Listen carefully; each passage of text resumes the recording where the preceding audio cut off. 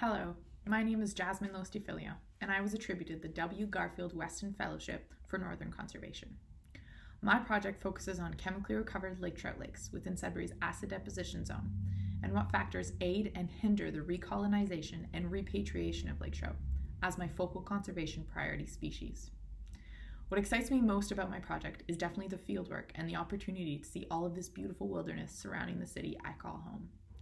I'm so thankful for this fellowship and the W. Garfield Weston Foundation because it has allowed me to have one more summer of this fieldwork and exploration that I love during the middle of a pandemic where I would have otherwise been stuck at home.